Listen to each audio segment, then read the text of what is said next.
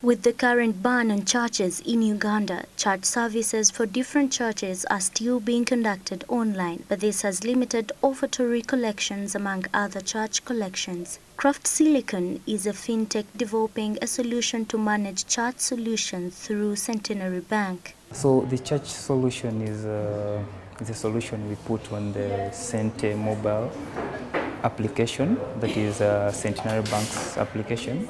So it runs on an Android app, um, iOS and USSD. So this helps um, anyone in church who wants to maybe give an offertory or pay for church buildings or maybe give their tithe or any other program that the church wants money for. So all you need to do is to be registered on the Centenary Bank mobile banking platform. 21 years back, Craft Silicon started a core banking system that later transformed to mobile banking. With the aim of making digital financing easier, Craft Silicon is helping people by USSD app and internet application to access loans as well as transferring money from bank to a mobile phone and vice versa. Silicon is a fintech company. It's uh, Kenyan based with the headquarters in, uh, in Nairobi.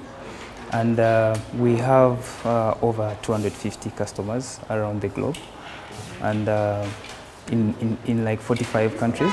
And uh, we offer a range of products which uh, start from uh, core banking solutions, mobile banking, agency banking.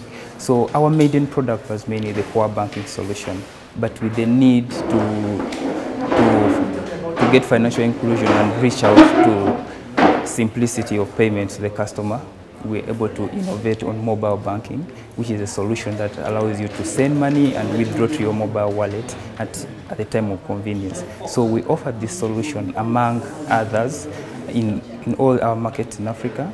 And uh, also our core banking system is used within the African countries, but mainly in our market in India for circles and mobile banks. Yeah. With our mobile banking solution, the customer can there and then pull that money from the bank account and transfers it to the uh, MTN or Airtel wallet. So at the time of payment, the, the customer can send that money again from their MTN or Airtel wallet and then um, it transfers it to the bank to pay off for the loan and then borrow again. One of our focus areas is uh, small and medium enterprises and uh, you find that this, this area is mainly uh, populated with women. So in order to support them, we give them product, loan products that are subsidized to them and uh, the rates of borrowing are a bit lower than the usual loan products. In 2008, Craft Silicon Foundation initiated transportation of students and youth from their technological bus aiming at introducing them to digital technologies. In addition, Craft Silicon has developed a farmers and government ministry solution through government payment gateways respectively. Among the 250 customers that I mentioned earlier includes even banks and, uh, and government institutions. So one of the government institutions, for example, is the Ministry of Agriculture and Fisheries in Uganda, we, which we have worked with on um, a World Bank sponsored project where farmers can get items at a subsidized amount. So we developed a solution that uh, runs on USSD, mobile application and web and a farmer is able to log in and uh, order for any product from an agro dealer who is nearer to them and then they are able to use the same platform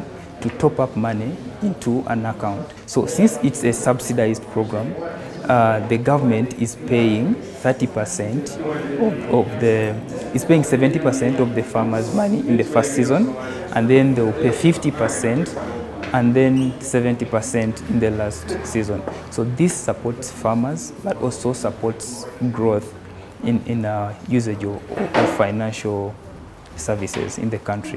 Government, again, we, we developed a solution called the Government e-payment gateway for the government of Uganda, which, uh, which uh, processes all payments for, the, for all the government ministries.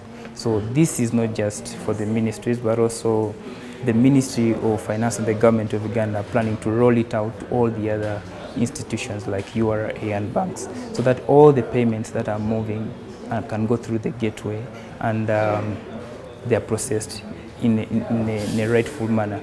Craft Silicon was introduced to the Level 1 Principle Interoperable Software. But on top of everything, it is guided under uh, Level 1 project principles.